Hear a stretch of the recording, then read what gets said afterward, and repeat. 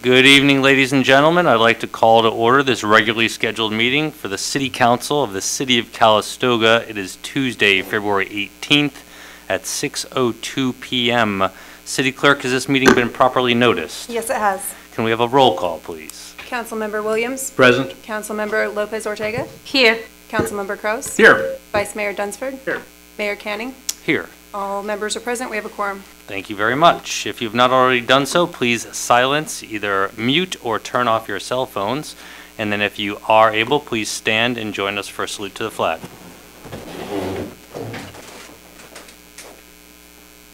I pledge allegiance to the flag of the United States of America and to the republic for which it stands, one nation, under God, indivisible, with liberty and justice for all. Thank you.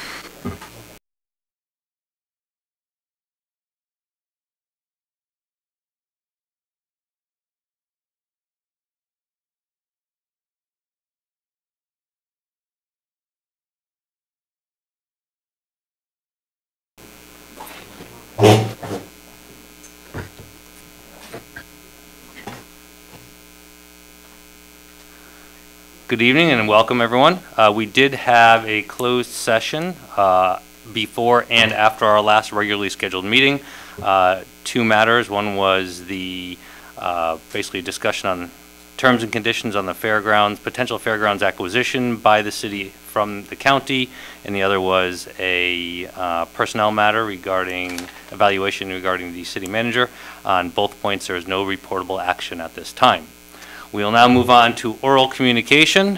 This time is set aside to receive comments from the public regarding matters on the consent calendar or matters of municipal concern that are not on the agenda. Pursuant to Government Code Section 54954.3, also known as the Brown Act, however, the council cannot consider any issues or take action on any request during this comment period. Speakers are encouraged to limit their comments a maximum of three minutes so that all speakers have an opportunity to address the council. I'll start with speaker cards first, and then if there's anyone else who hasn't had a chance to fill one out, we'll go from there. First card I have is from Alex. Alex, should you so choose, but you are not required to do so, share with us your name and your address. I will. Alex Skellinger, 11 Terrace Drive. Um, I've already emailed the council on this a couple times, real annoyingly, I'm sure. We don't have mandatory garbage pickup in this town, and it is, I guess it may not be a problem to some people, but for some of us it is. If you lived next door to Don Selvey years ago, or another guy who's getting a little old and doesn't quite see the urgency of it, and throw the other bag in the garage, and wait till you get a pickup truck full, and whatever. So anyway, uh, it's, it's something that I'd like to see us get. It's an eye roller. I move around the North Bay all day, and it's an eye roller when people hear that we don't have mandatory trash uh, pickup. Um, uh, it, it can be a rodent problem. As I said, that's what really spurred it on to me. We have cats, yet we still see rodents around. We do have chickens in town. We're allowed to have chickens, which is great. And if you read up on that, it's a real diligence about um, maintaining your property, or you'll have rodents. So it kind of becomes twofold for us.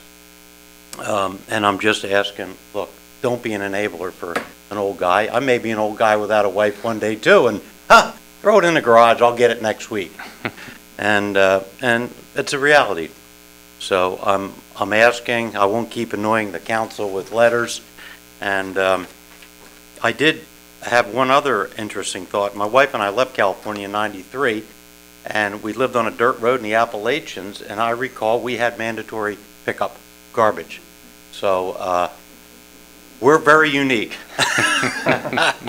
I've heard that for many years, living here 23 years, but I don't want to be unique there. Thank you for your time. Thank you. Alex, thank you. Uh, Your letters are not annoying. We appreciate feedback from anyone. Um, I do sit and represent the city on the Upper Valley Waste Management Authority, um, where there are some communities in the county that have mandatory and some that don't. What I can assure you, what I can, when I, what I can assure you is that uh, there are pros and cons, and I will happily bring back uh, for the community's consideration, what would be uh, involved there. But I'm not opposed to it. Uh, We'll bring you the pros, cons, and we go from there. All right? If uh, memory serves me correctly, I think when Karen Slusser served on that board, that uh, we moved away from mandatory trash pickup Yeah, at we one, used, we used to have it. It used to be mandatory, right? it used to be, and then, 2020 in a city, okay? Understood. No, You've- I'm- you- I'm- I'm just- hear the cons. You've spoken. Thank you very much. I will be happy to share them with you. Thank you, Alex. just, just as a little history for everybody, we did have it, and then uh, there were some reasons that were compelling for the council to, uh, when we adjusted the contract with uh, uh, Upper Valley, that uh, we dropped that requirement, so I'm certainly willing to re-examine it. Okay, I will bring that back. I have, I believe, Brian, is this for later? Okay. Is there anyone else wishing to address the council on a non-agendized item or a consent calendar item? With that being said, I will close oral communication, entertain a motion for this evening's agenda as presented unless a modification is requested. So moved. Second. I have a motion by Vice Mayor Dunsford, a second by Councilmember Kraus. All those in favor? Aye. Any opposed? Thank you very much. Moving on, council requests and ideas for discussion. Council Member Lopez Ortega. Uh, Yes, um, is related to um, the gentleman that just spoke. Um, Now that the weather is, uh, is more nice and, and, um, you know, uh, warm, uh, people start cleaning their homes, including myself. And it's very easy for us just to dump things on the street and write a note saying it's for free. So I think, um, you know, it's, it's, uh, uh, it's good to do that um, at certain point, but I think it's, it's about time for us to enforce penalties uh, for these acts because the city needs to look nice and clean. And not only for people out of town, not only for the tourists or for the visitors, but also for our own community, especially uh, for our children. We need to set a sample for, for them. So I will request um, the city manager um, to start looking um, in something that we can do to enforce um, penalties for people who do that. And also, I wonder if uh, will be possible to get on the agenda for March 17, um, a presentation about vaping products uh, with the Family Center. Regina Pena is the program coordinator for this program uh, at the Family Center, and I met with her and we discu- discussed about this issue. Santilina is already um, working um, in this, and I think it's very uh, important that uh, us as a council, we discuss about, about this, um, this problem, especially again for the safety of our kids. And I, that's it for tonight. Thank you. Thank you very much. Councilmember Williams. I have two items, Mr. Mayor. Uh, One, I want to uh, thank Mr. Kirn and uh, City Clerk um, Kendall for, um, on the staff reports, uh, City Manager Kirn and I have talked uh, a couple of times about the format for the staff reports, and we see them all the time, and, and we get used to them. Um, But um, you'll notice on the staff reports tonight that the subject line in almost every case and almost every item is only two or three or four words. And this, I think, is helpful uh, for the general public trying to understand what's going on here on these uh, topics. And uh, sometimes in the past, the uh, subject line was uh, identical with the description, and these were long and wordy kind of things. And so it's a small matter, but uh, I think anything that makes the agendas and the staff reports more accessible to the public, I think, is a step in the right direction, so I appreciate um, the uh, movement in that way. The second item I'd like to um, only mention is, um, I'd be interested in my colleagues' uh, opinions, thoughts on term limits um, here in, in our um, government, our local government. And so uh, I don't ask for any staff work on that, but I'd like that to be on the agenda, and, you know, it's not an agenda item now, but I'd be interested in hearing what your ideas are on that. So if we could get that on the agenda at the next opportunity, I would appreciate that. All right, thank you. Council Member Kraus. Yes, uh, a couple of meetings ago, I brought up uh, an issue about uh, publicizing the amounts of money and the people who are asking and making exorbitant uh, public record requests. And uh, what I would like to do is uh, see if the city staff would bring back something for the council dis- to discuss and decide whether we're going to adopt that policy. Thank you very much. Staff, you're clear on that? Thank you. Vice Mayor Dunsford. Nothing tonight. Thank you. Um, I was going to, uh, an- a word that Councilmember Williams used relative to the staff reports is accessibility. I'd like to remind the community that all of our documents, all of our uh, minutes, video recordings, etc., of meetings are all available to every single Calistogan or anyone who has access to the internet um, at any and all times on our website. Um, All of our reports are there. It's easy to access. Um, You can also sign up for automatic reminders and postings. Uh, There is nothing to hide here, folks. It's all right there, so don't act surprised. Um, It is also our responsibility as a city to inform the public, but you as the public and as a voter are responsible for also helping to inform yourselves as to what's going on in your community uh, under which we bid service for you. So with that said, we will now move on to um, proclamations, presentations, and awards. Oh, I'm sorry, we skipped right after the, right over the city manager. City manager report, city manager Kirn, my Good evening, Mayor, council members, Mike Kirn, city manager. Um, Some quick items. Um, Yesterday, representatives from the company that's going to be putting in the sirens uh, came into town unbeknownst to us and made some pavement markings where they thought the sirens were supposed to go. Unfortunately, they were using some old antiquated data uh, that was in error. Uh, The two areas in question, one is on, off of Cedar near Rancho D, and the other is off of Grant near Mora.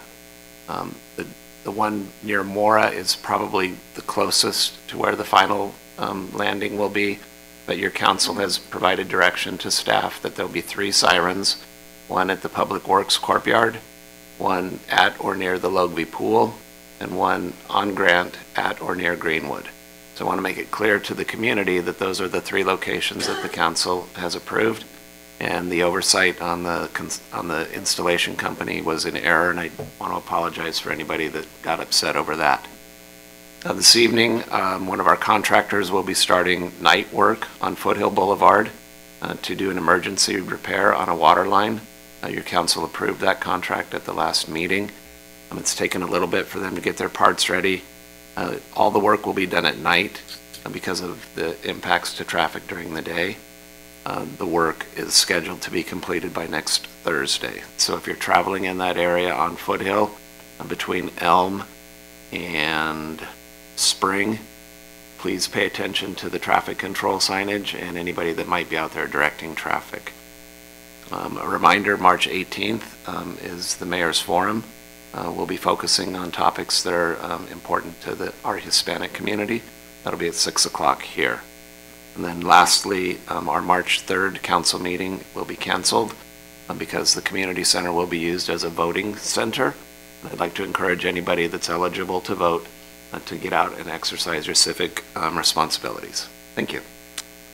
Thank you. Moving, moving on to proclamations, presentations, and awards. Um, First, we'll, actually, I'm just going to hand the whole thing over to uh, Chief Celaya. Looks like all three points are yours. Uh, Item number one, Dispatcher and Officer of the Year Awards. That will be followed by, well, we'll start with that one. That's a good start. Chief, welcome back. Thank you. Honorable Mayor, City Council members, City Manager, and City Clerk, thank you for having me this evening. I have the honor of uh, making a couple announcements. The first one is our 2019 Officer of the Year and Dispatcher of the Year. Uh, Unfortunately, our Dispatcher of the year had another engagement. Her son at a basketball game. I think they're in some sort of finals or something, so we wish them the best of luck on that. But if I could have um, Officer Ryan Jung step, uh, step up this way. Um, As I speak about uh, Officer Dispatcher Griselda Loza, she's our dispatcher of the year this year. Griselda is, uh, is a 14-year veteran dispatcher, and you've heard me talk about the dispatchers a number of times up here, and uh, what a critical role that they play. I mean, they're literally the, the face and the voice of the police department. If you call for assistance, 911 or business lines, they're the ones that are going to pick up. If you go to the front counter, they're the ones that are going to greet you. So they literally are the face and the voice of, of the police department and do an outstanding job for us. And Griselda has, is, uh, stepped up and actually set herself aside from other dispatchers last year and was uh, awarded Dispatcher of the Year. This is an award that comes from her peers, along with input from me.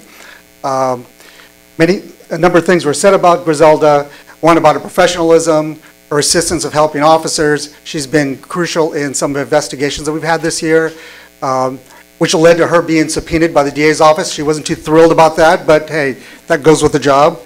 So uh, I just want to congratulate uh, Griselda, and we have a nice plaque for her, but again, uh, she's, she knows where her priorities are, and she's at a basketball game cheering her son on. The Officer of the Year is Ryan Jung, who is behind me. Uh, Ryan is a three-year veteran, and in his short three years, he's made quite the impact here at the police department. He quite often leads our department in activity. Uh, There were a number of comments that are made about Ryan, one about his enthusiasm, smile, just, if you ever have contact with him, whether you get stopped or you're going to get a ticket or not a ticket, you're going to see this smile on this guy. Uh, He's, uh, you probably have not seen a lot of him because since he's been here, he's found his way to graveyard shift. And so when the sun comes up, he goes away. And when the sun comes down, he checks in. And so uh, Ryan has done an outstanding job, and uh, I'm pleased to announce him as Officer of the Year and to present him with the Officer of the Year plaque.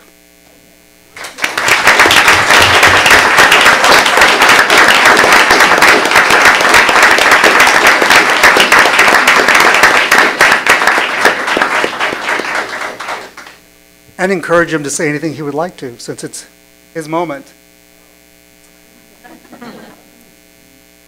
Well, I would like to thank my uh, my wife back there for putting up for me not being at home all the time, and also my dog that just barked too. So, uh, also thank you to the city for giving me the opportunity to work for this wonderful city. Uh, I love it here. The community is great, and I think my dog said it's time to go. thank you. Thank you very much, Ryan.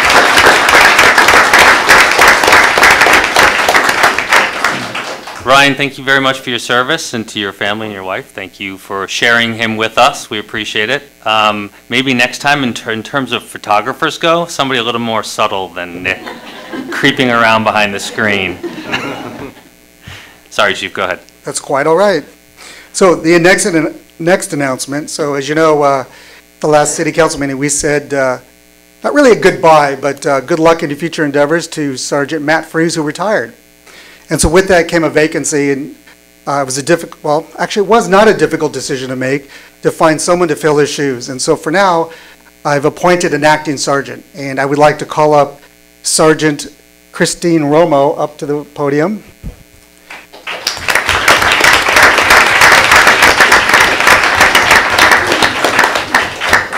So at the moment, this act, this is an acting position, but has the full rights and privileges of a full-time sergeant. And so we're going to get to a selection process, but for right now, we, there's a void we need to get filled. And uh, Christy is that person to do that. She's a 17-year veteran. I have to say, I was, I was looking at the schedule and the officers, with the exception of one officer, one sergeant, Christy will, has and will be training every, have trained every officer on the department. So. Impressive. I'm not saying she's old or anything. She's been around for a while, but she's been here for 17 years. She's done a number of things for us.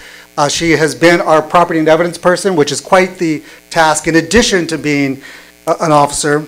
Uh, She's been our field training officer uh, for how many years? Eight, enough to train everybody in the organization, including myself. Um, She's now the field training manager, so she stepped into uh, Matt's uh, shoes. That's, those those are going to be large shoes to fill. But uh, I'm have the utmost confidence she's, she'll do a great job. She's had a number of awards. One of them is Life Saving Award in the past, uh, a number of commendations, just really too many to, to, to mix. So, uh, but with the announcement, Calistoga has this tradition. When the last sergeant leaves and the new sergeant comes on board, that last sergeant presents sergeant's bars. And so with that, retired Sergeant Matt Freeze is joining us to present Christie with the sergeant bars that get, have gotten passed on for at least a couple decades is what I'm going to guess. Yes, I wouldn't want to out Sergeant O'Neill, but these were originally his. Um, there's been, uh, well, now six sergeants in the history of the city of Calistoga. I was the fifth, and uh, Sergeant Romo will be the sixth, and the first woman. So these bars have been passed down to each sergeant, and it's going to be her responsibility to hold on to them until the next sergeant. I've held on to them for the last 12 years, and now it's your turn. All right. Thank you.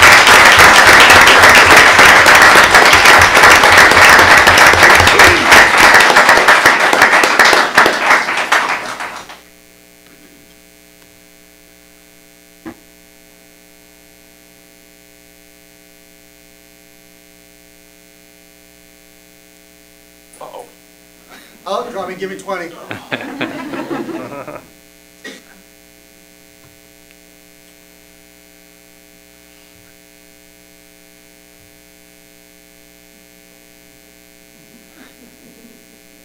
Or scratch them.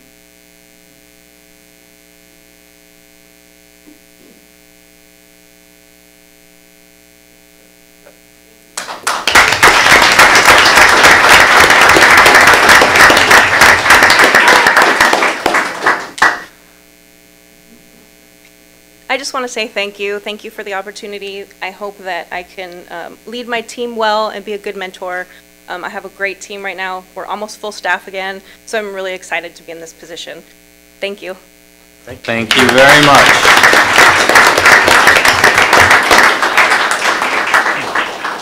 Uh, Retired Sergeant Freeze, congratulations on the opening of your new endeavor.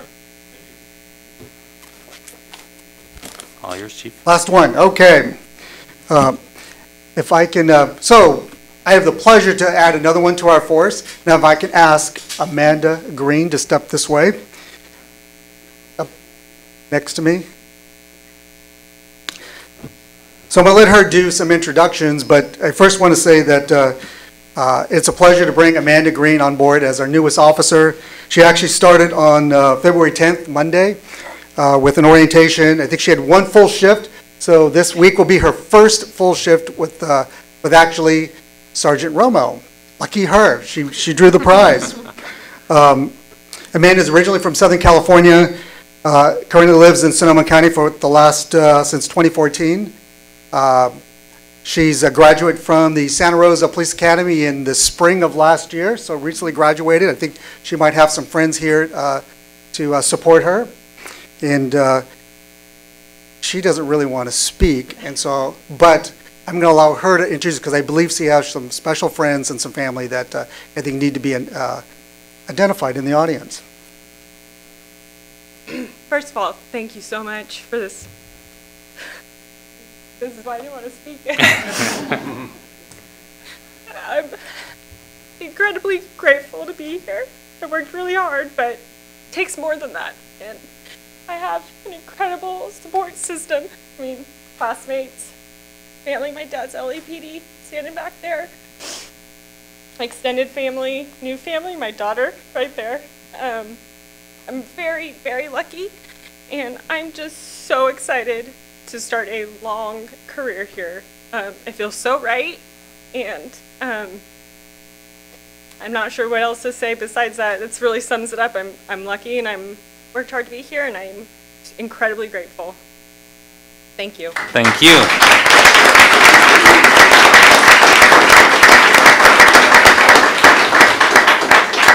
And she did a way better job than I would have done, and she was a lot more succinct than I would have been. So there you go. It's a win-win. So part of that is, uh, is although she, she had a, an official swearing in now, there's the formal one, so that uh, the city clerk will read her the oath.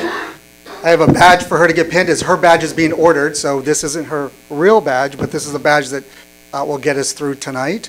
Uh, And then she'll get to choose who she would like to pin her badge on when she's finished with the oath. Follow Kendall's instructions.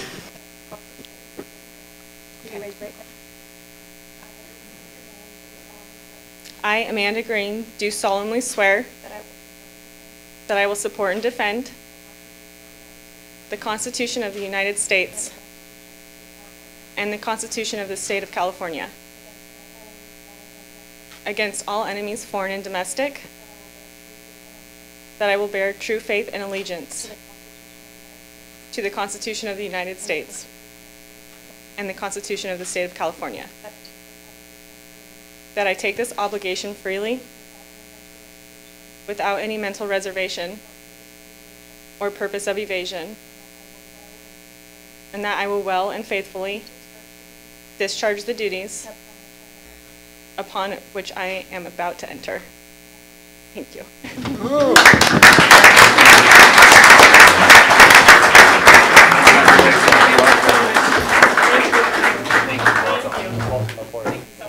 And we'll get you a gun later.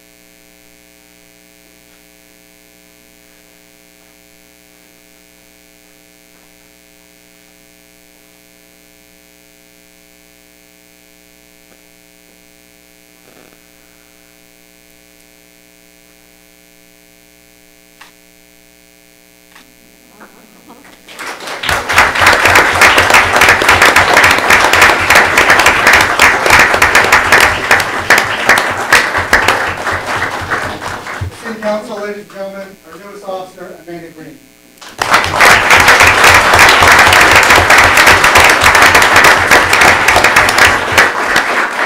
And I'm not going to make her say anything else. All right. Thank you very much, City Council. Thank you. Officer Green, thank you for choosing us to uh, have your career here in Calistoga. We sincerely appreciate that.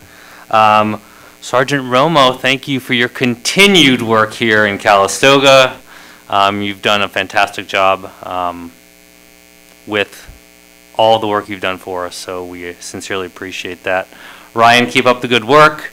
Um, We are very fortunate, and Amanda, you are joining an incredible team of officers, uh, dispatchers, uh, with a lot of support from this community, and we appreciate all that you will be doing for us. You, sounds like you come from a law enforcement family, so you know exactly what you're in store for. Uh, So to Dad, thanks for uh, sharing her with us. We appreciate that very much. All right, so I'm giving you your 60-second warning. You have 60 seconds to vacate, or you stay for the entire meeting. Thank you all.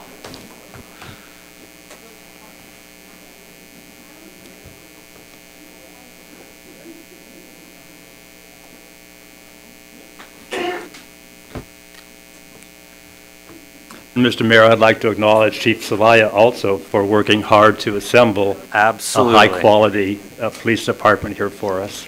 Very well said, thank you.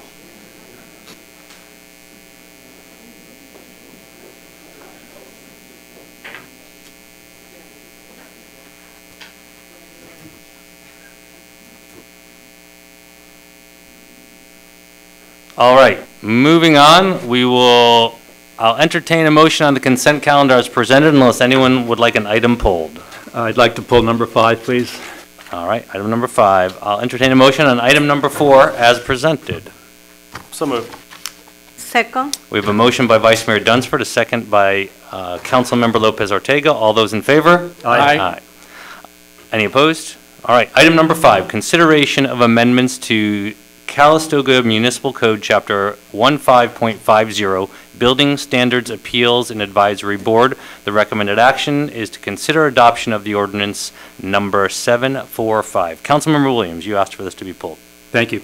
Yes, I do appreciate uh, staff's uh, bringing this to our attention, that there was difficulty in um, assembling uh, a uh, committee large enough to make decisions, and uh, staff made uh, good recommendations, which uh, amount to shrinking the size of the committee and also to relaxing the qualifications, and I agree with both of those, and I appreciate uh, your bringing those to our attention. As I mentioned the other day, um, I think uh, term limits are important uh, in order to um, increase, enhance participation of the public, and so um, I can't agree with the um, the elimination of the term limit requirement, which was here, and I think that uh, the two steps we're taking, shrinking the size of the committee and relaxing the qualifications, will probably um, will probably provide us with enough um, quality input that we won't need to relax that um, requirement for uh, term limits. So um, it's the same point I made before that um, we want to maximize uh, maximize participation and thereby connect uh, the public even more to their government. So I um, I agree with the uh, first two measures, those two measures, but I can't agree with the uh, elimination of term limits. Okay. Um, uh, We've had this conversation, and Yeah. and I'll just share again that when you come into smaller communities, you're often challenged by the pool of people willing and capable to serve in these roles. And the more restrictions we put on, and term limits are a restriction, uh, the more complicated it can be. But I appreciate your position. Um, Unless there's anyone else wishing to address this matter. Is, is there any other committee we have that uh, requires term limits, has term limits? I think this is the only one. So it seems appropriate to keep it consistent with the other standing committees? Okay. Anyone else, council members? Did, uh, did we had a lot of applicants for this special committee? Not in the past, which is the reason we've made some other modifications in addition to it. And we've been in a position where you've actually not been able to meet quorum or make quorum. uh, And it's a committee that doesn't meet very frequently, so it's not as if the time burden is, uh, is significant. There were some qualification requirements that we are relaxing as well. I, think they meet once or twice a year. Yep. Anyone in the public wishing to address this matter? All right, I'll close public comment. Um, I will entertain the motion as presented. So moved. Second. We have a motion by Vice Mayor Dunsford. We have a second by Councilmember Kraus. All those in favor? Aye. Aye. Opposed? Uh, Opposed. Thank you very much. Moving on to item number six. This is a public hearing. Continue public hearing on the draft updated infrastructure element of the Calistoga General Plan and rescission of the geothermal element. The recommended action is to receive any additional public comments on the draft infrastructure element update and provide appropriate direction to staff. Um, As you may recall, we opened public hearing on this matter at the last city council meeting, and we continued it through today. So taking us through this will be Planning and Building Director Lynn Goldberg. Director Goldberg, welcome back. Thank you. I don't really have anything to add. It was continued to give uh, opportunity for additional information, uh, input on possibly rescinding the geothermal element and folding some of the information about geothermal resources into the infrastructure element. So this was continued to give the public um, additional opportunity for input. And we, one of the recommendations is that we will be obviously including the geothermal element to um, the infrastructure, correct? Well, I had suggested some recommended language um, that could be added to address those concerns. I shared that at the last hearing. um, It could be folded into the infrastructure element, and that's where it was left. There wasn't any direction as to whether to go ahead and add that information and go ahead and rescind the geothermal element as a standalone or not.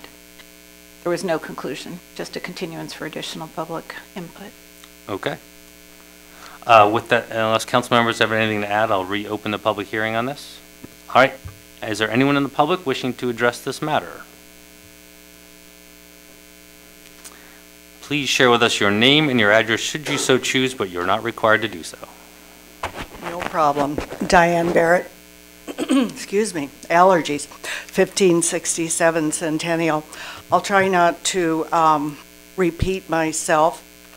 I, as you know, um, through my emails and speaking last time, would really like to see a standalone geothermal element left in the general plan, even if it is only one or two pages. I know that staff has done a great job culling out some of the less than currently per- pertinent information and putting it in the general, um, in the infrastructure element. However, I see that as more the negative aspects of the geothermal whereas the geothermal element can address and show the community the importance of that resource to this community.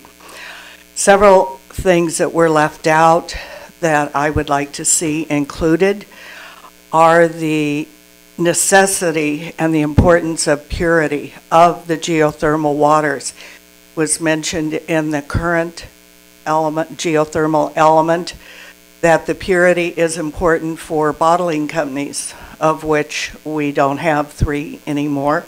However, the spa industry depends on the purity of the geothermal water. So I think that statement and that protection is important. Um, it's improbable that we're going to have three, let alone many more, bottling companies in town. It could be possible, however, and I have heard that the geothermal wells are going to be reactivated at Crystal Geyser. So again, the purity of that water is important to address and to let the community know that we care about that. I still believe that geothermal or the volcanic ash protection should be somewhere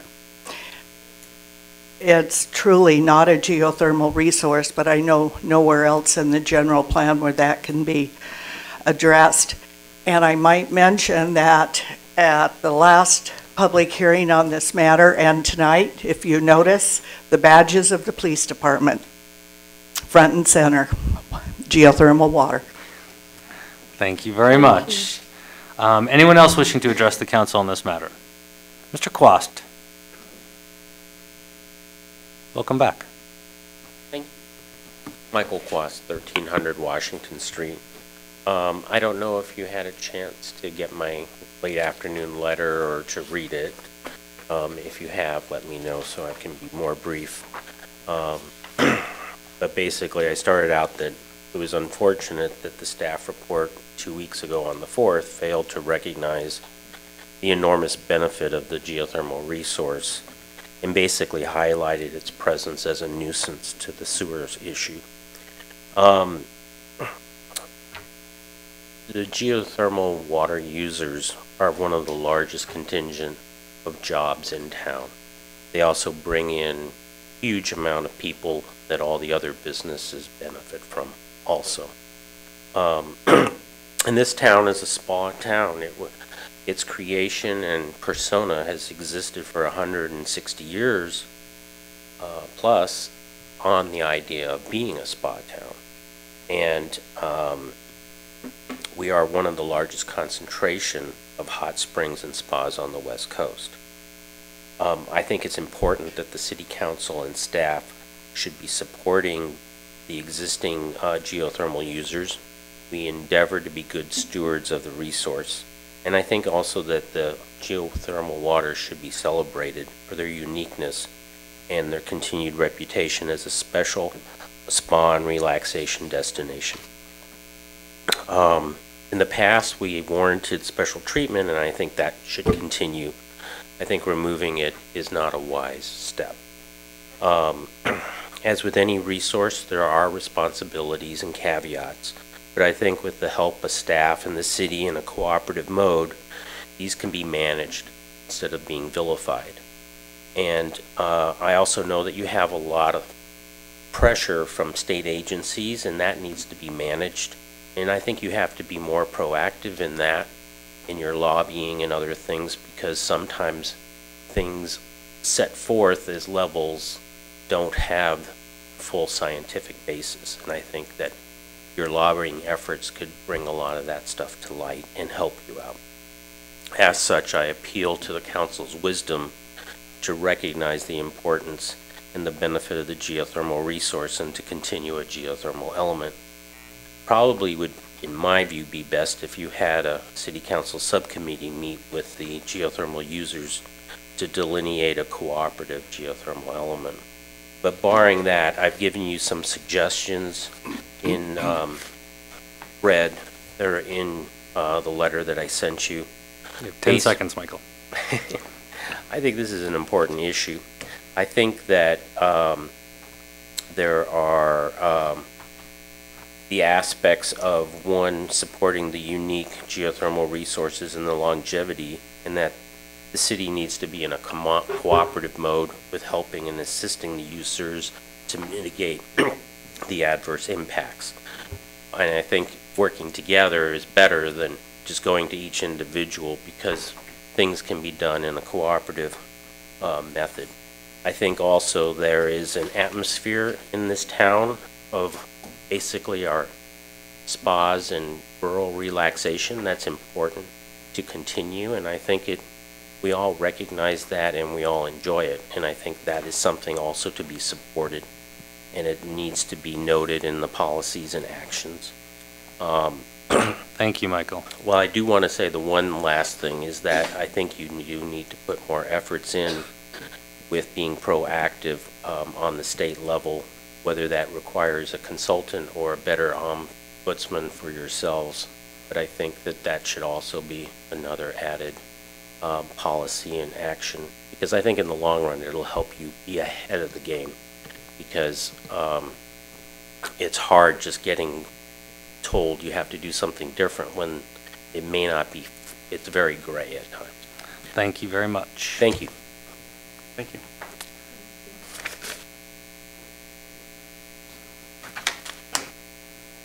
Anyone else? Yes, please.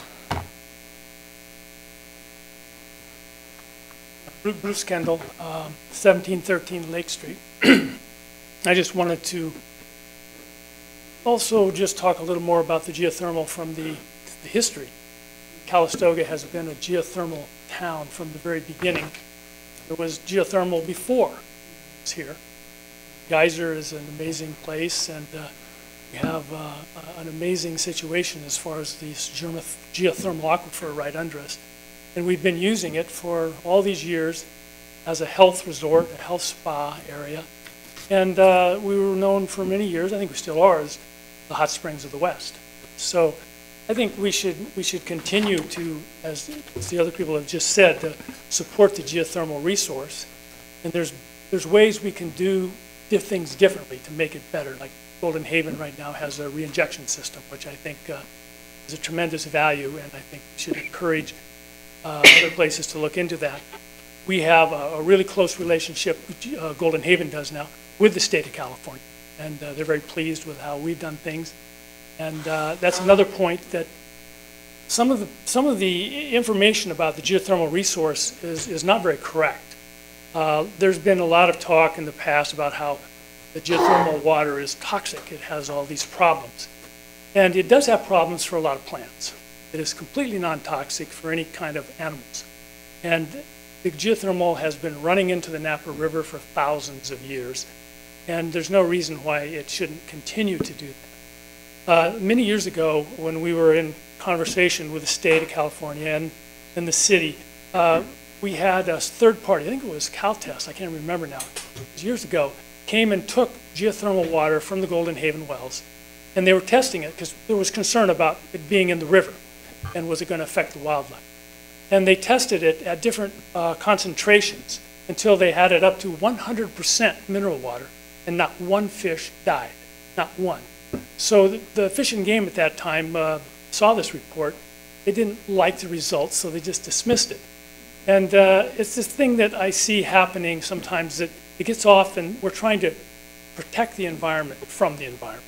This is a natural situation Calistoga has been for hundreds of thousands of years. And I don't think we have a bad situation, maybe we have a good situation. So I'd like to see the geothermal resource continue, expand, and it has to be done in a way that, that we can, we can save it and and, uh, utilize it safely. And I think there's a lot of potential for it. And I still think it's uh, probably the number one draw to Calistoga, come for the spots. All right, thank you. Thank you very much. And Bruce, I have been in a meeting where the state of California referenced your facility in particular as a model of how you've managed the geothermal elements, so congratulations for the work you, for the work you guys have done there. Anyone else wishing to address this matter? Yes, Charlotte. Charlotte Williams, 59 View Road. Um, It occurs to me uh, that I don't often hear about the geothermal being used as an alternate energy source, and yet I was at a music event in Santa Rosa a few weeks ago, and someone said, so why doesn't Calistoga make use of that? You've got solar potential there, and you've got geothermal potential. You know, why should you be reliant on PG&E or any other power company when you have a lot of pot- potential right there in town? So I thought I'd just bring that up, and I don't know if it's addressed in the current uh, geothermal element in the general plan, but it seems like it ought to be. Thank you. And we have been in recent discussions uh, from microgrid concepts that are looking into utilization of geothermal for energy production as well. Anyone else? All right, I will close public comment. I'll bring it back to the council um, for further discussion. Who would like to start? So unless there's a compelling reason that we adopt this tonight, I'd be interested in allowing the public, the speakers tonight, um, offer their greater input, suggest changes, uh, revisions, and, and uh, we want to try to respond to everybody in the public. And uh, so I'd be interested in, unless there's some reason that we just have to do this now, in getting their input and, and considering it and going from there. Thank you. Anyone else? I agree with the speakers that uh, geothermal is a very important aspect of this community, always has been, always will be. And I think it's probably worthy of uh, an update rather than a rescission uh, of the element in the general plan. I did uh, like the idea to do a subcommittee and uh, discuss this more further. So um, uh, um, this element can be um, mentioned um, or adopted better and um, and listen to all the parts and and, and create a win-win situation. Because geothermal is is for sure uh, very important for this town. Michael? Uh, So I, I agree with everything that's been said. Um, I think there absolutely should be a a standalone geothermal element, even if it's mostly symbolic in nature. Um, But there are opportunities such as energy, as Charlotte mentioned. I know we uh, looked into uh, using geothermal to heat the pool at one point in time, but the cost was, and it was complicated and very expensive. Um, But technology's changed, so in the future, there might be opportunities. Uh, But my suggestion would be, we should wrap up the infrastructure element, um, and, and then shift the geothermal to a standalone. And I think city staff should uh, work with um, the speakers to uh, formulate uh, a geothermal element and just bring it back. If there needs to be a subcommittee, that's fine. Um, uh, Seems like it's something that could happen pretty quickly, and we, we should not lose sight of the fact that we are a spa town. I would echo that, and I would like to say, see uh, the geothermal element be freestanding uh, as a, as a separate element, and I think we have staff who understand that and agree with that. Um, I would say, let's separate the two. Let's go ahead and move forward with the updated infrastructure element with the caveat that the freestanding geothermal element will follow. Send it back to planning commission, allow for public hearing input. We could even consider um, subcommittee to enhance that element, add in some things that have changed, um, and then bring that back um, uh, to be adopted separately. Um, I'll make that recommendation, and then staff can tell me um, if that's possible.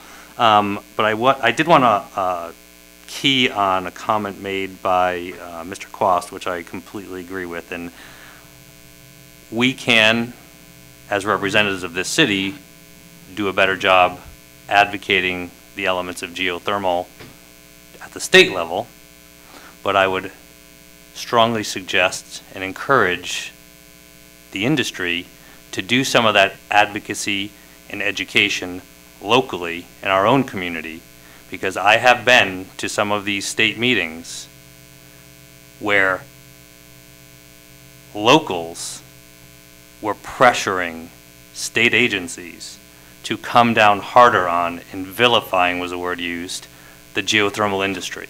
And that's from people who are here. So I think there needs to be some work done, some reach out to encourage people and educate folks on what this water does or does not do. Um, because having sit, sat and watched that occur um, in a community where that's what you were created to do uh, or originated from uh, was a little bit disheartening. So um, I'll take some pushback to go to some of those agencies if you'll take some of that responsibility and help educate uh, our friends and neighbors on that one. Um, staff, can we separate these two? Yes, please do. Uh, Yes, I, that's, um, the comments are entirely appropriate, and um, we've prepared a resolution that would allow us to close out the infrastructure element um, as it is, without any additional language. Um, We had multiple hearings on that. And um, we'll move forward with an updated geothermal, geothermal element, keeping it a standalone element. Uh, So the resolution you're receiving basically strikes out and rescinding the general plan geothermal element, and then any references um, to that portion um, throughout the resolution, and it just adds uh, that there was a continued public hearing on February 18th and changes the adoption date to February 18th. So I would highly encourage you to, um, if you feel it's appropriate, adopt the infrastructure element tonight. As noted, we've been working on this for years, and it would be great to have it closed out and moved on. And we'd be more than happy to work with the public and the stakeholders on an updated geothermal element, maintaining it as a separate element. And what would that timeline look like on the freestanding geothermal element? I actually have have one, I actually have one drafted, but, um, you know, that, that could be sent out for public review, or if there is a desire to have a subcommittee, I'm not sure we necessarily need a council subcommittee. Uh, we know the stake, you know, most of the stakeholders in the, um, in the community, so, um, we could show them the draft and use it as a starting point for more discussion, and we could take the suggested additions, and, um, so, Do you have to even go through planning commission? or- yes, we would have to go through planning commission. It would be just like we did through the, for the updated infrastructure element. We would just have a separate hearing on the updated geothermal element, once we have a draft that, you know, most of the folks are um, satisfied with. Which I would encourage, because another public hearing allows more Right. airing of what the Yeah. modifications might be, off- more opportunity for people to contribute. Right, it's not that difficult, we could just, you know, take, you know, take our time, it's not a huge rush, um, and, you know, take a, take a few weeks to draft it, and then work with everybody, and then go through planning commission, and they'll make a recommendation to you, so it'll come back to you eventually for adoption. So my only concern there would be, and, and somebody needs to bird dog this, is if we separate them, Mhm. adopt one, we want to make sure that we're still paying Yes. attention and that is working through the process and the time. Yep. I'm going to look over here now because you'll be retired by then. It's on the whiteboard, it's on our project Ci- whiteboard, I City have. manager, so, I did draft it last week, it's, Okay. it's- I'm trying to leave it all in order, so. okay, with that understood, is the council comfortable with just moving on um, the infrastructure plan uh, with the caveat that a freestanding geothermal element will be crafted, recrafted, adopted, and and attached to? I- I'm fine with that. I do have some comments on the uh, infrastructure plan, but I'm fine with the separation. Okay. Everyone else fine if we separate? I am. General public okay with that? All right. Uh, Questions on the element itself? Councilmember Williams? Yes, um, I'm going to uh, page 23 of 33. Um, On the top of the, is the numbering the same on yours, Ms. Goldberg? Possibly. right. And it's also um, I-20 or Oh, page okay. 41 of 542. Okay. Derek, do you have that? Okay. Um, And I'm at the top of the page, A 4.1-3 uh, refers to an action under the goal of pursuing the installation and monitoring of volcanic ash mud separators at resorts and spas in order to avoid uh, or minimize the amount of antimony discharged into the wastewater treatment system. And my question is, uh, do you know if that's being done? That is being done, and we are requiring it already of resorts and spas. Great, thank you. And I have one uh, minor, um, a word uh, change, I think, on page 29 of 33. This is at, this is a small thing, but this is a formal document, and uh, at the uh, end of the very first paragraph for Calistoga, uh, the name Calistoga has continued to invoke associations. I think we want to use evoke and not invoke. Um, Thank you for noting that. However, attachment two is moot at this point. We're not going to be adding Okay, this great. language to the infrastructure element. Got it. So, And then my last. but we'll make a note of that if we Yeah. use it in the next one. and my last question is on um, pages 14 and 21. Uh, Page 14 of 33 and page 21 of 33. And on page 14 of 33, uh, up towards the top, uh, item P 1.3-6.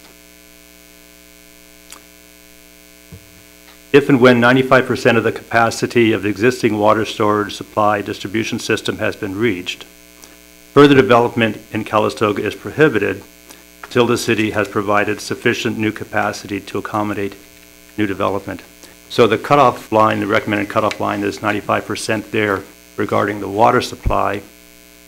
And on page 21, there's the same 95% um, uh, cutoff point regarding the uh, wastewater flow.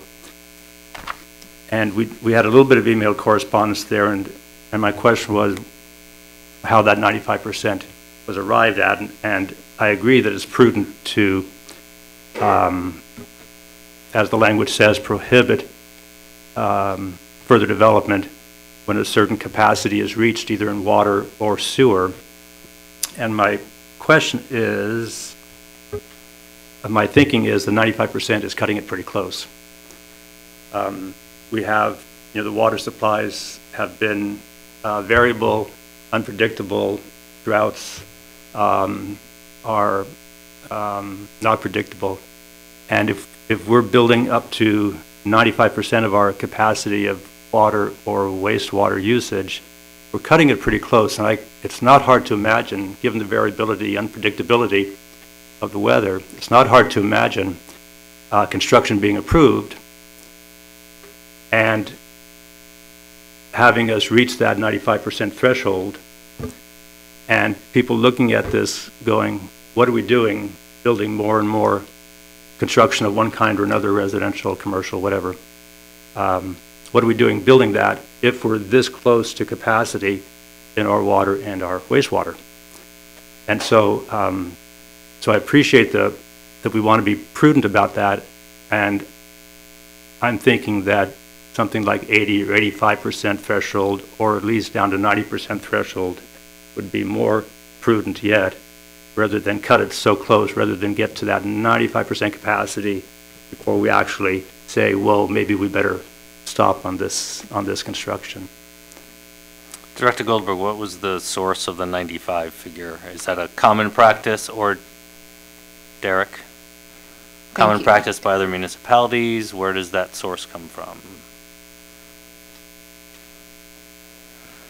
Just generally, um, good engineering practice. Introduce yourself, Derek. Derek, uh, Thank you. Public Works Director for Calistoga, sorry. Derek. Derek Rayner. Yeah, thank you. Um, so yes, good en- en- engineering practice, um, uh, you know, ninety-five percent, um, you know, to make sure that you're not over, over-promising, um, for, you know, water and wastewater capacity in the long run. So that is an industry marker or standard or common practice? Give me some, I believe, I believe there's, um, even with the regional board, I think they do have a requirement that's a little bit before the 95, before you reach that capacity, um, that they will require that you start doing some studies, you start doing some engineering and some preparation in advance of hitting that 95% target. It would seem to me they would have a specific number because the state mandates that you grow as a town. You can't just, eh, if you were to take that percentage and make it thirty percent, like that would be a way to basically stop or regulate growth, which the state doesn't allow you to do. But you obviously can't grow beyond your resources, or they come in and they mandate that you expand your capacity in one way or another. Correct. So it would seem to me that we should find out what that number is. And if it's lower than 95, you know, we could certainly lower it to that, whatever that number is.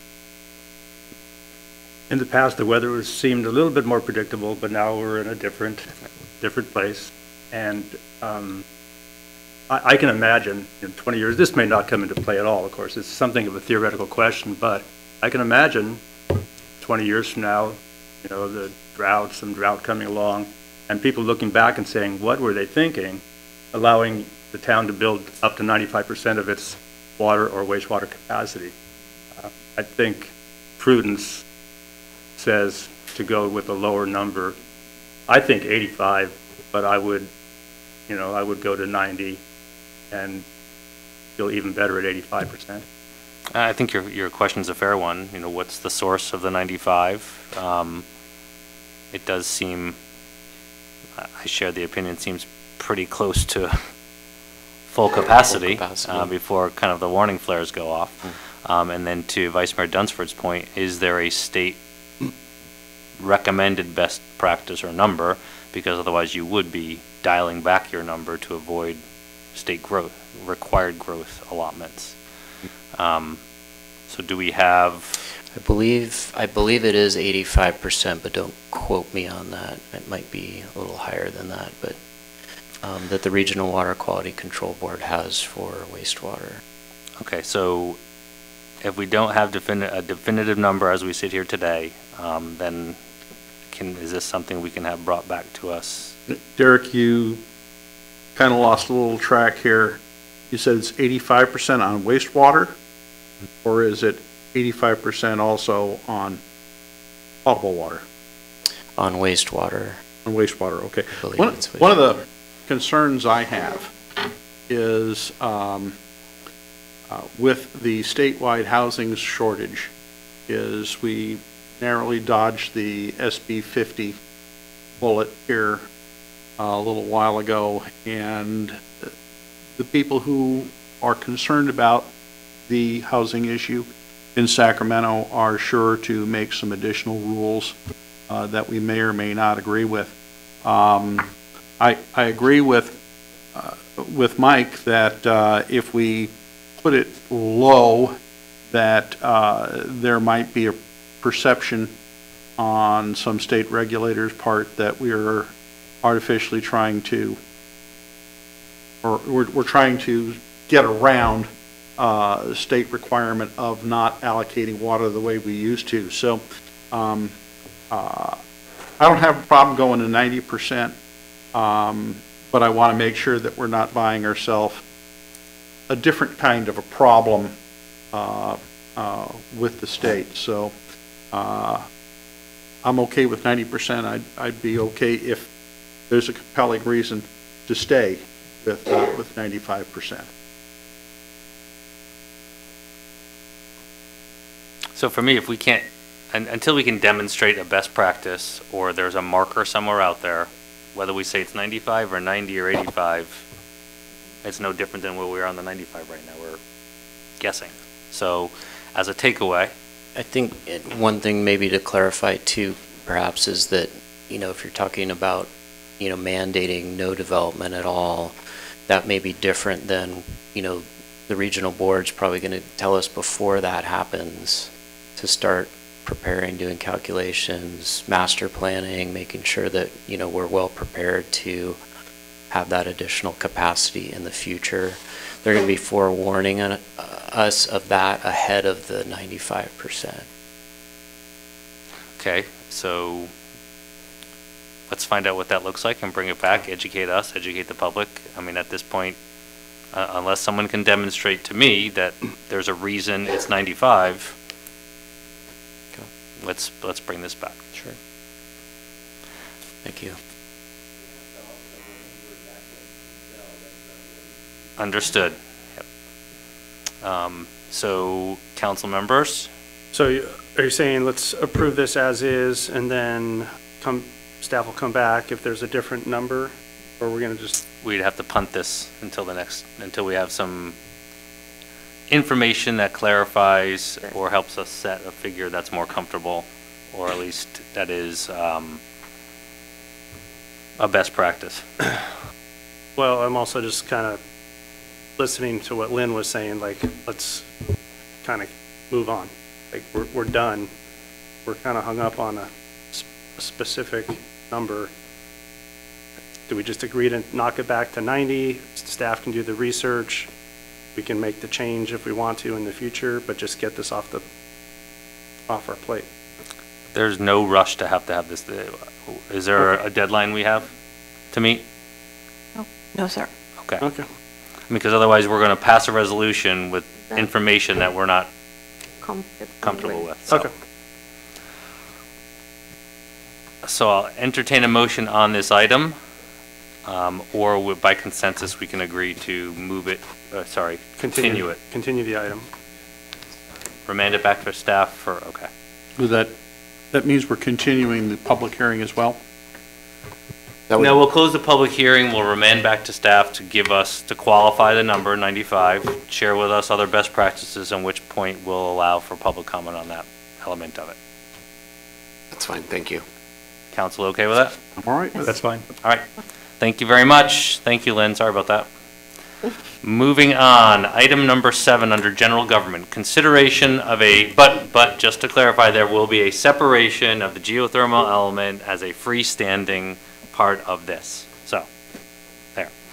Item number seven, consideration of a contract with Anchor Point Group LLC to prepare a wildfire risk assessment and provide related services. The recommended action is consider adopting a resolution authorizing the city manager to execute a consultant services agreement with Anchor Point and approving a budget adjustment in an amount not to exceed $80,800, subject to any modifications to the work scope deemed appropriate by the city council. Taking us through this item will be Planning and Building Director Lynn Goldberg. Thank you, and I'd also like to note that uh, Fire Chief Steve Campbell is with us tonight as well. This was um, a joint effort among uh, myself and um, Brad Cannon, the building official. So as you recall, on November 19th, when you were considering um, updating the uh, building standards code to reflect the new California code, Councilmember Kraus uh, expressed concern about the potential for a wildland fire spreading throughout the county.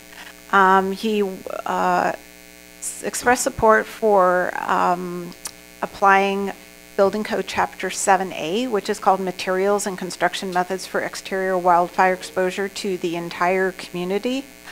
Um, And there was further discussions about um, whether that was legally supportable, what the construction costs could be associated with that. Um, what the thresholds for triggering fire-resistive construction would be, potential concerns from stakeholders, uh, the fact that Chapter 7A is tied to specific fire hazard maps that exclude much of the area within the city limits, and um, questions were asked about whether any other jurisdictions have taken this approach. So um, I'm just going to take you through a, a couple slides to uh, explain how we got to this proposal for wildland risk assessment and related services from Anchor Point. Um, so in the uh, city limits of Calistoga, which is this black line around here, there is a section that is south of Foothill that is designated by CAL FIRE as being in a very high fire hazard severity zone. Uh, this other red area, this is really all red. It's just been kind of pinked out for the area that's in the city limits. So everything also south and to Sonoma County is red. Um, there are also areas of high fire hazard area, this orange color, that's been mapped by CAL FIRE outside the city limits, as well as yellow areas, um, which are moderate hazard areas. So within the city limits of any jurisdiction, CAL FIRE just maps the very high fire hazard area, and we must administer Chapter 7A for any construction in that area. However, the white area with the, within the rest of the city limits um, has not been evaluated in terms of high or moderate risk. And we don't really have a means at the staff level to um, do that. The CAL FIRE does modeling for all of the other areas within the state responsibility area. They don't do the modeling for the local responsibility areas. So um, just briefly, Chapter 7A requires, um, this is all in your written staff report. I just wanted to pull a couple slides for the public. Um, there are a number of um, fire resistive things, construction items that have to be included for construction in areas that are subject to 7A, including the roofs, the gutters, the attic, the, and the exterior cladding of the walls, certain types of windows, certain types of doors, and decking and stair treads and other surfaces that are outside have to be ignition resistant or built with heavier fire retardant treated lumber. So there are a number of um, measures that are mandated by Chapter 7A in the very high hazard areas. Um, we looked, uh, did some research since November 19th, uh, talked to some local contractors. Their best guess is that these additional fire resistive um, measures increase the cost of a local project by approximately 15 percent. Uh, however, insurance costs for buildings employing these uh, measures could be lower. There are some suggestions that the light, that the insurance costs could go down. We asked, um, we did, we looked around to other jurisdictions in the Bay Area. There are no local jurisdictions that are applying Chapter 7A to areas that are not designated as very high fire hazard zone. So they don't have a blanket um, application to um, throughout a city limit or certain areas of the city limit. Uh, we did talk to Santa Rosa and Sonoma County. They are not imposing the Chapter 7A measures in the rebuild areas of Coffey Park or Mark West Springs. They are not subject to 7A. They weren't subject to Chapter 7A before the fires either because they just don't have the um, characteristics, topography and wind and vegetation. Of course, we know this was an anomaly and uh, what happened. So um, we did find, um, I'm sorry, this should be the city of Dana Point. uh, they did take the approach of going ahead and mapping the moderate and high uh, severity zones within their city limits and have designated them Ember Zones 1 and 2. And then uh, they have, uh, they do mandate that new buildings and qualifying alterations and additions must comply with specified provisions of Chapter uh, 7A. So there's a number zone one, and you have that um, handout as part of your packet, and number zone two, and they just kind of layer on certain things that they, sent, they pull out certain components of uh, 7A that have to apply to construction in uh, ember zones one and two. So you can see here the red, the orange, and the yellow zones. So something like that could also um, uh, be applied in the city of Calistoga if we had that knowledge, which we do not have that knowledge. We only have the red zone knowledge. So um, we saw a need for a detailed evaluation. We lack the basis to require Chapter 7A provisions throughout the city. We need to identify the moderate and high zones and a more detailed evaluation of what the actual risk is. Um, Also, there's a need for um, an update of the CAL FIRE mapping, which was last done in 2008. Uh, The very high fire hazard severity zone within the city limits needs to be reevaluated for possibly being extended or being pulled back. So since that's uh, more than 10-year-old data, and as we know, things have changed, um, that would be another thing that should be looked at. Uh, We also need to have a finer-grained uh, approach to this information. CAL FIRE's evaluation is at a very gross level. It's, needs to be, it's like one-third of the state is um, subject to, uh, subject to, is in a high uh, severity zone. So um, they, they can't do it at a parcel level. They, they do it in very large uh, plots. And um, if we had finer grained information, it would help us proactively address wildfire hazards, such as where vegetation might need to be removed. And it could also um, protect residents and property from wildfires to the extent feasible, such as requiring the fire-resistive construction in appropriate areas and also planning for evacuation during uh, wildfire events. Um, so while I was um, researching what other jurisdictions were doing, I came across Aspen, which um, under contract with a firm called Anchor Point, um, can, prepared something that uh, Anchor Point calls its no harm model. And it was an assessment of the city's wildfire, wildfire vulnerable, oh my gosh, vulnerability that is scientifically defendable and it could be applied in a consistent manner throughout the city. Um, They are, they have worked and are working with uh, jurisdictions throughout the state of California as well as uh, outside the state in uh, Washington and Colorado and areas like that. They're based in Colorado. Uh, But they're, they just finished a lot of work um, on the San Francisco Peninsula. A number of jurisdictions banded together and hired Anchor Point to do this evaluation for um, a number of jurisdictions there. So um, this is just all of the factors that go into a fire behavior analysis. It's very technical. This whole thing is extremely technical. It's not something that staff uh, could possibly pull off. And um, what is the result of this modeling is that uh, they would come up with areas that they would anticipate to have the highest severity of wildfires, um, where they might be most frequent. Again, this is all dependent on vegetation, uh, the steepness of the slope, uh, did it burn before, what is, you know, what are the patterns from before, and a, a number of other factors, also how uh, dry or wet the vegetation is, uh, if there are trees, or is it just grassland?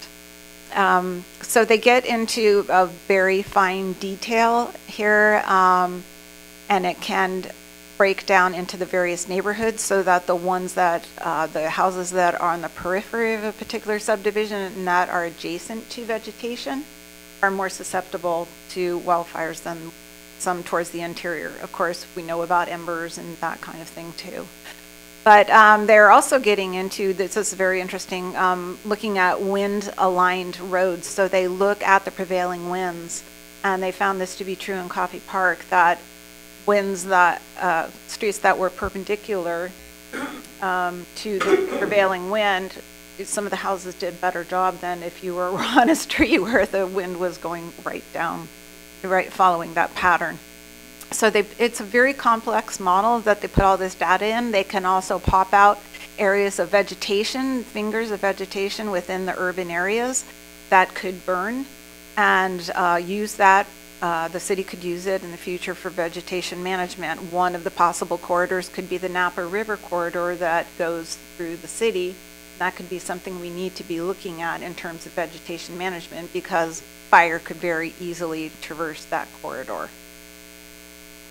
So um, again, you- what we would end up with if we were to go um, with this kind of analysis would be areas that, like the gray areas that probably aren't at risk under all of these various scenarios that they do, and the model can change. Um, We would have the ability to plug in certain factors, knowing what's, what's happening out there in the real world during an event.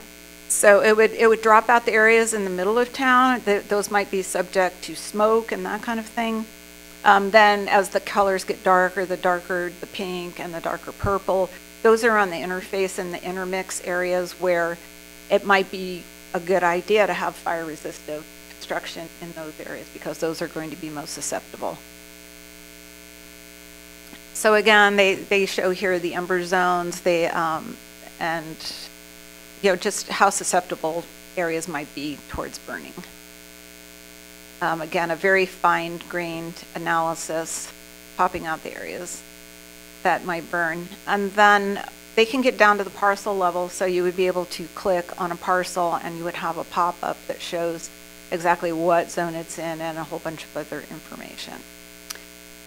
So, uh, in addition to the um, evaluation itself to determine the risk of the various areas of the city, Anchor Point also offers additional services. One would be a web map interface, and that could be integrated with the city and fire department websites. Uh, you could generate a neighborhood or a parcel level map along with detailed data. So that could be free to the public to access. Um, They also do evacuation planning. They could identify primary, secondary, and tertiary routes of ingress and egress available and make recommendations for improvements and new evacuation routes. So if we know Cordham Canyon is a possible evacuation route, but it's blocked or it's so, you know, in such poor shape that it's really unusable, then um, they could make recommendations for that kind of thing. Uh, This is a sample map that they made for another jurisdiction. They highlighted the important routes, and then they even, the orange ones are ones that aren't really sanctioned uh, roads or streets, but in an emergency, they could be used to get people out of certain areas. So they would feed all this in as well. Um, They also have something that they call TUFO, which is time until fire arrival modeling.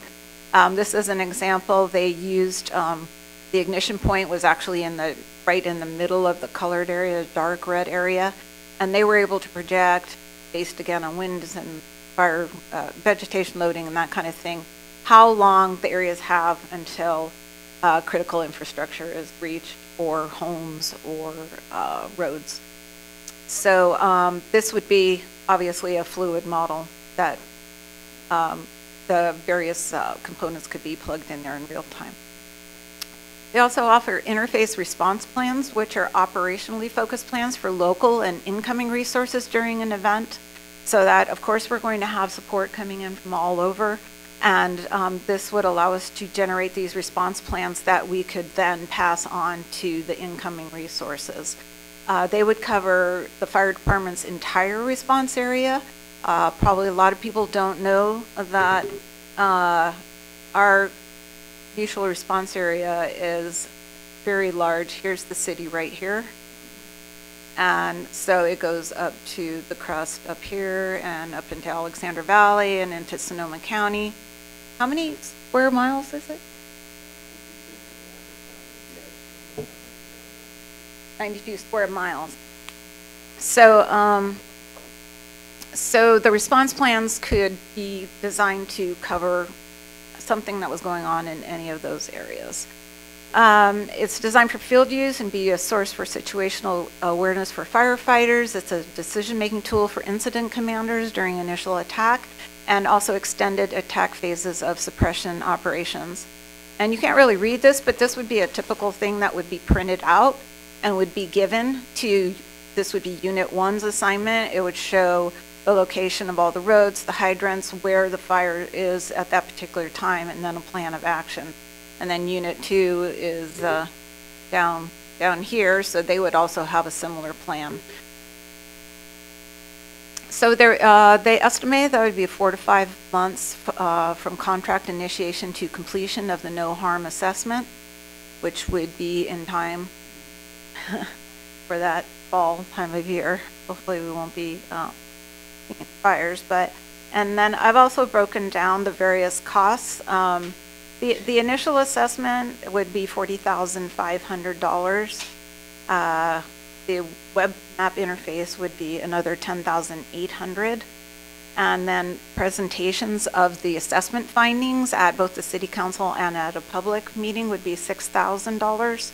Um, Those three tasks are highly recommended. Um, That would give us basic information we need to decide whether to apply Chapter 7A to other parts of the um, city or to break it up like Dana Point, where we have certain areas that are, um, are, uh, where Chapter 7A, certain parts of it would apply, and then uh, maybe we we would end up changing our very high fire hazard uh, area as well. So uh, then there are the optional tasks that uh, that I also outlined, the evacuation planning, the interface response plan, and then the total cost would be um, 80800 There would be an ongoing um, annual hosting fee for the web map interface once it's established of $1,500. Um, current fiscal year budget does not include designated funding for this work. It kind of came up last November. Um, Therefore, the funding source would be general fund reserves. Um, And this, um, this work would be consistent with a number of council goals and objectives for this fiscal year, uh, mainly enhancing community disaster preparation, including wildfires, evaluate potential wildfire impacts, educate residents, and prepare post-fire recovery, uh, develop and adopt local fire codes that exceed county and state minimums as appropriate to protect life and property. Uh, There are some alternatives included in